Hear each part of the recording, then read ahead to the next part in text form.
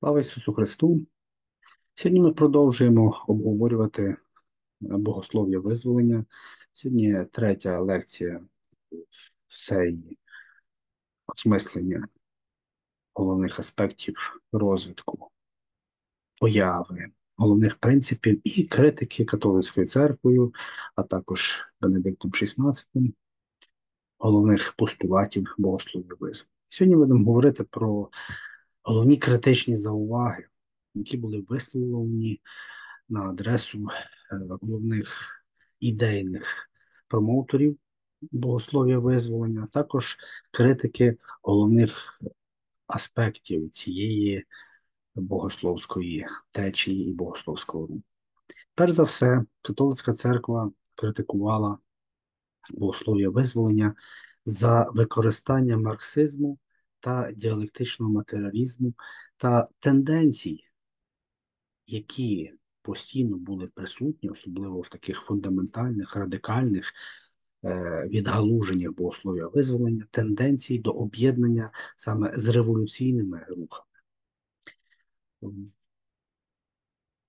Конференції латиноамериканських єпископів були різні партії, більш традиціоналістичні, більше ортодокси, більше консерватори, або також велика партія належала до радикальних прихильників визволення.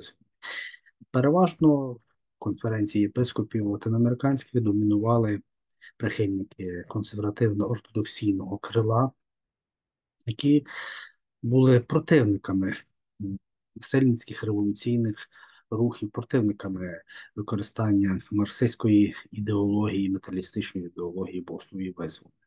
Папа е, святий Іван Павло II постійно е, реагував на розвиток цього руху. Вже на конференції згаданої згаданих латиноамериканських єпископів в Пуеблі в 1979 році святий Іван Павло II е, критикував богослов'я визволення, але не огульно все, а саме радикальне крило богослов'я визволення, тому що воно, цитую дослівно, представляє Христа як політичну фігуру, як революціонера, як якийсь підривний елемент з Назарету. А це, за словами святого Івана Павла II, несумісне з катехизмом церкви. Водночас він збалансовано і подушпастерськи второпно наголошував на зваженому підході, на неадекватності огульного заперечення всього цього руху, тому що цей рух, як я вже згадував, був надзвичайно багаторівневий. Тому зваженість і мудрість є надзвичайно важлива в оцінці е, богословських обґрунтувань цього руху. Інститут приватної власності, цитую, має вести до справедливішого, згадує Іван Павло II, і рівного розподілу благ. І якщо принцип загального блага вимагатиме того, не потрібно сумніватись, робити експропріацію, але робити це правильно. Отже, Іван Павло навіть наголошував на певних радикальних кроках, коли є кричуща несправедливість, кричуща е, експлуатація багатими бідних. Водночас радикальні прихильники богослов'я визволення, до прикладу, їх було близько 80 таких марксистських революціонерів на чолі е, з відомим богословом визволення Гутєресом. Е, вони не були допущені до участі в конференції латиноамериканських єпископів, але водночас вони паралельно продовжували продовжували діяти, організовували свій семінар і впливово е, впливали на підписання підсумкового документу е, на конференції в Поеблі. Близько чверті всього тексту цього документу було написано під впливом саме ідеї радикальних прихильників богослов'я визволення. Е, в кінцевому результаті в Пуеблі, Мексиці, на конференції єпископів Латинської Америки було прийнято формулу, яка називається Церква для бідних. В 1984 році е, цей рік є надзвичайно знаковий. Вийшла інструкція з приводу деяких аспектів богослов'я визволення, яка підписана е, конгрегацією Ровчення, якою тоді керував саме кардинал Йосиф Рацінгер. Саме в цій інструкції було засуджено богослов'я визволення як новий різновид єресі, заснований на використанні марксистських концептів. Проте після реакції латин... єпископів і богословів Латинської Америки, і після гострої дискусії, е, ватиканський погляд був дещо зм'якшений, бо ця позиція була переглянута, і вже в 1985 році було опубліковано нову, значно позитивнішу інструкцію під назвою Християнська свобода та визволення, яка дозволила певні теми богослов'я визволення, однак їх одухотворила і позбавила соціально-революційного змісту.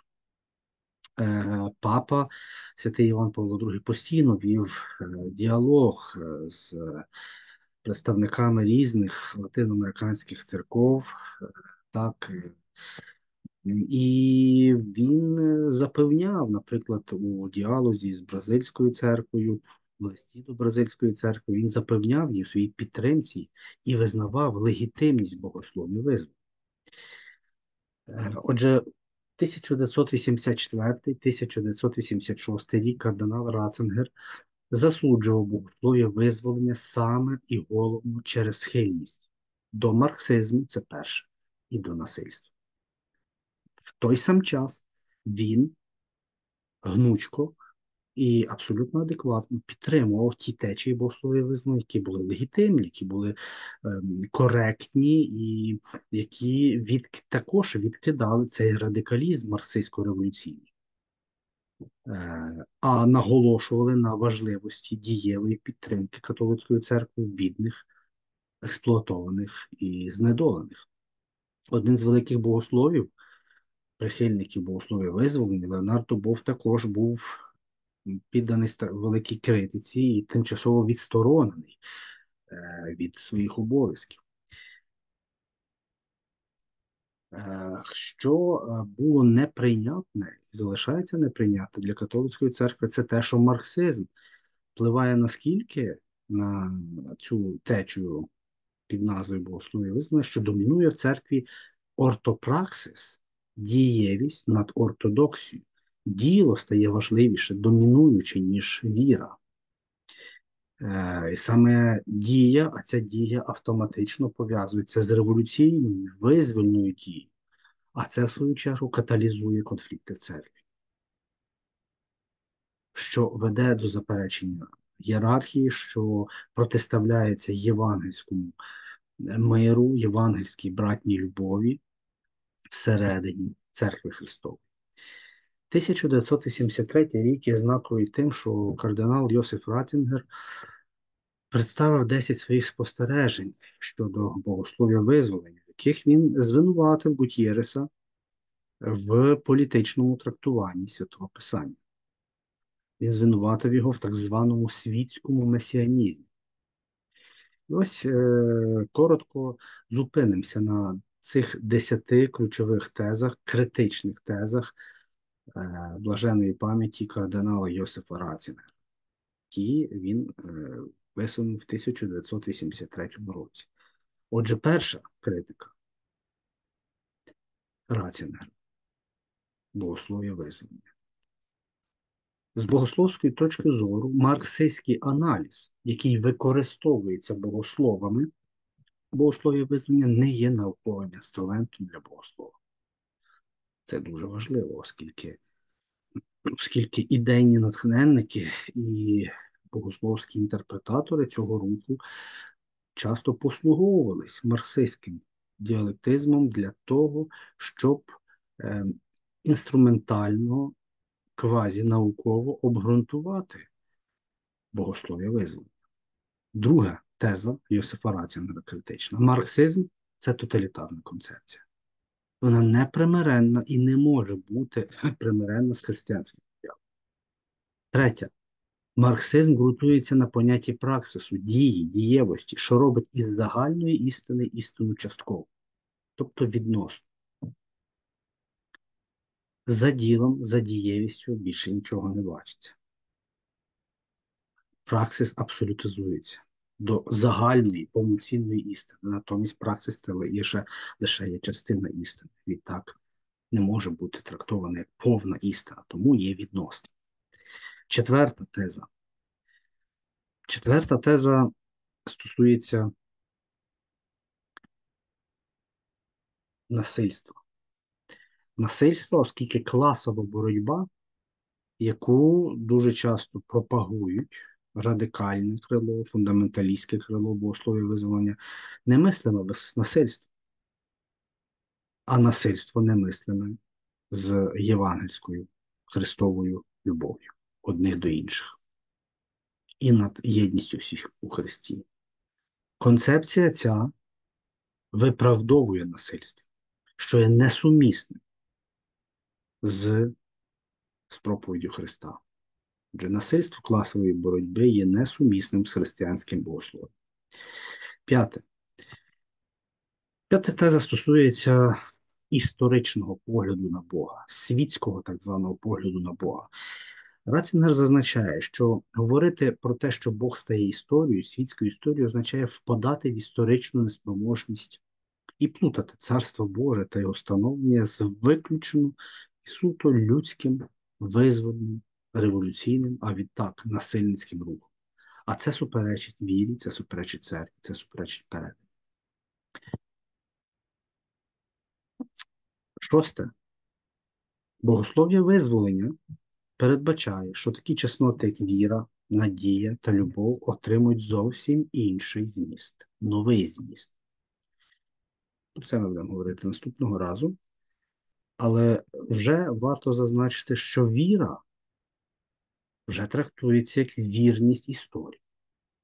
Надія вже трактується як впевненість в майбутньому, а любов трактується виключно як е, преференція милосердна для бідних.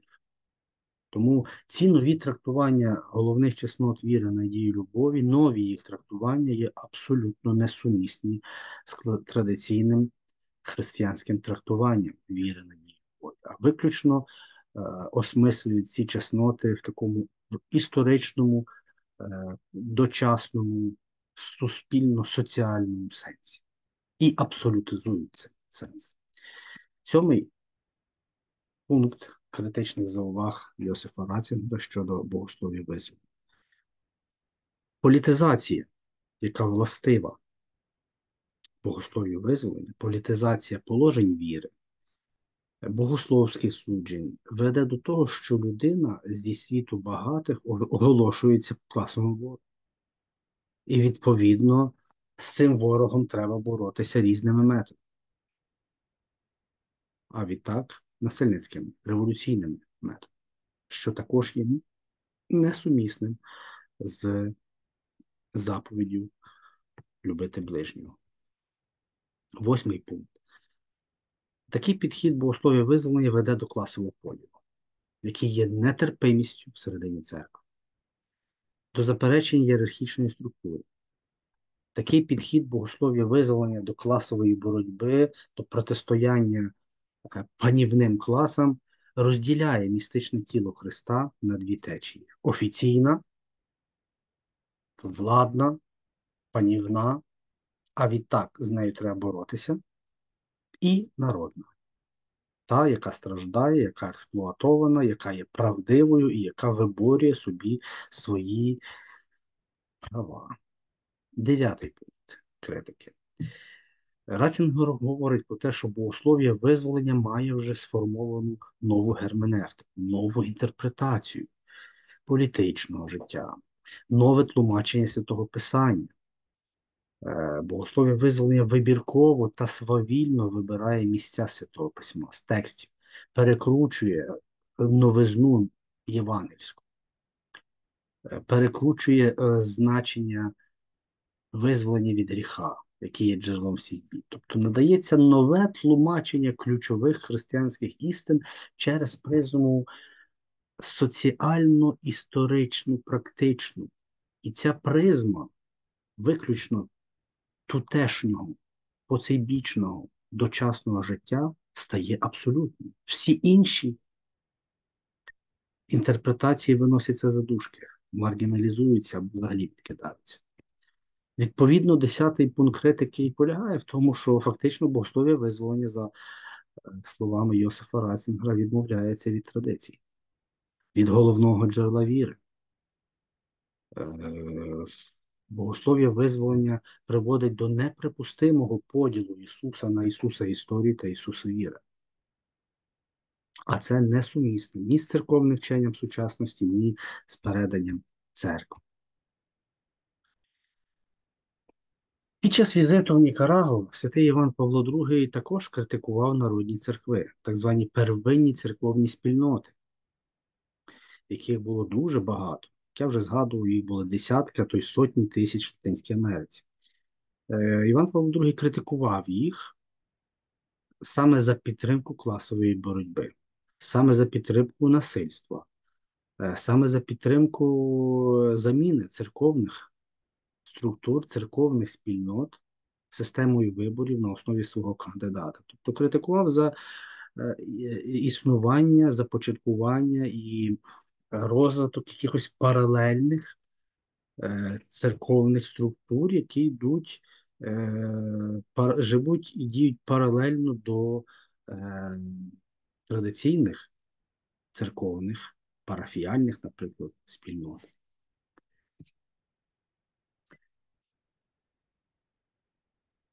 І ось е, що є ще важливо? Важливо, що е, для богослов'я визволення, для богослов'я визволення е, одним з недоліків, який пропагується, це є творення якоїсь альтернативи. Творення альтернативного погляду на святе писання, на інтерпретацію Слова Божого поза традицією, відкидання традиції, фактично, творення нового бачення е, християнської ідентичності, збирання поза церквою, читання Слова Божого, в тому числі служіння вже поза церквою, проповідування поза церквою, головно-мирянські проповідування. Тобто позитивні аспекти, вони які є е, в собі добрі, активність мирян, пошук нових шляхів, е, розуміння проблем, пов'язаних з експлуатацією бідних, пов'язаних з різними формами дискримінації та е, притіснення тих, хто страждає культурно, національно чи соціально. Але всі ці аспекти вони зводяться до такого абсолютистського Е, відірваного від церковного е, організму способу. Е, цей спосіб інтерпретується, ніби це є рух знизу вверх, ніби він має міняти все, але насправді він є цей рух автономний від церкви. І ось в сучасності Після 1989 року, коли так звані соціалістичні країни соціалістичного табору занепадають в минуле, капіталізм перемагає, е, богослов'я визволення йде на спад. Падіння Берлінської стіни, припинення холодної війни, е, поступова поступовий розвиток економічний латиноамериканських країн спричинився до того, що е, богослов'я визволення в 90-х роках, початок 2000-х іде різко на спад. Е, це з одного боку, з іншого боку, в цих 80-х, 90-х роках церква Христова, католицька, християнські церкви все більше і більше радикально переходять на позицію преференцій для бідних. Е, відкидаючи будь-які марксистські ідеології, будь-який насильницький е, радикалізм революційний, але наголошуючи на е, радикальних реформах задля виклику бідних, пригноблених та експлуатованих. Хоч, попри все, богослов'я визволення набирає обертів в тих країнах Латинської Америки, зокрема, яких перемагають на виборах ліві партії. Там богослов'я визволення може відроджуватись, може набирати нові сили. Е, так як за Уго Чавеса в 2005 році, який сказав: Для мене Різдво це Христос, Христос бутівтик, Христос революціонер, Христос соціаліст.